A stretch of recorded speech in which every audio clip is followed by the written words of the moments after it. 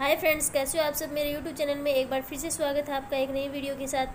तो आज हम बनाने जा रहे हैं चोले की फली और आलू की बहुत ही स्वादिष्ट और मज़ेदार सब्ज़ी। इसके लिए हमने ये सामान लिया है तो मैं आपको बता देती हूँ एक एक करके।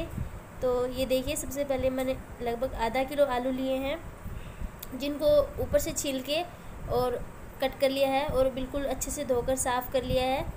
और इसके साथ ही हमने जो ये चोले की फली ली है, कच्ची चोले की फली इसको हमने कट कर लिया है और धोकर बिल्कुल अच्छे से साफ़ कर लिया है।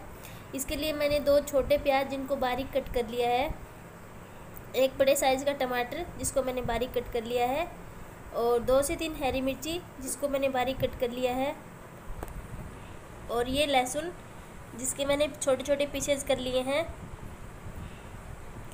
एक छोटी चम्मच लाल मिर्च पाउडर, आधी छोटी चम्मच हल्दी पाउडर नमक लेंगे अपने स्वाद के अनुसार।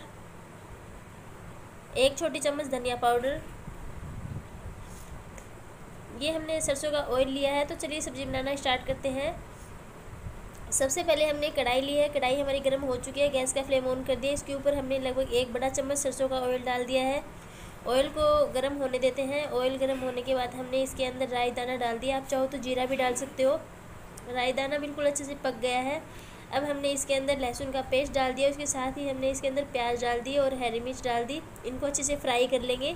आप चाहो तो एक एक सामान भी अच्छे से फ्राई कर सकते हो और साथ भी कर सकते हो, क्योंकि ऑयल तो हमारा रेडी हो चुका था। इसके बाद हमने हल्दी पाउडर डाल दिया है। हल्दी पाउडर मिक्स कर देंगे। धनिया पाउडर डाल दिया है और इन दोनों को भी अच्छे से मिक्स कर देंगे प्या प्याज और हरी मिर्ची के अंदर। तो इसके बाद हम डालेंगे टमाटर। टमाटर को भी हम अच्छे से मिक्स कर देंगे। अब हम डाल देंगे इसके अंदर चोले की फली और इसको अच्छे से मिक्स कर देंगे। अब इसके अंदर डाल देंगे नमक अपने स्वाद के अनुसार और इन सब चीज़ों, सभी चीज़ों को अच्छे से मिक्स करना है हमें। अब डालेंगे लाल मिर्च पाउडर और इसको भी हमें अच्छे से मिक्स कर देना है।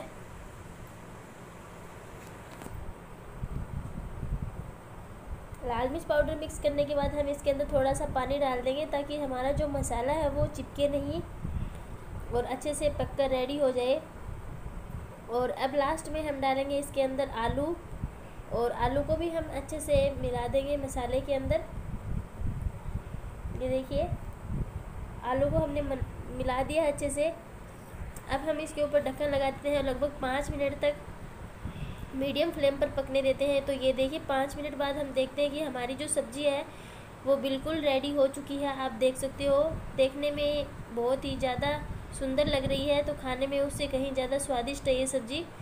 तो ये देखिए, बहुत ही आसान विधि है। आप एक बार ज़रूर ट्राई करें, खाएँ और कमेंट करके मुझे ज़रूर बताएँ कि मेरी आज की रेसिपी आपको कैसी लगी।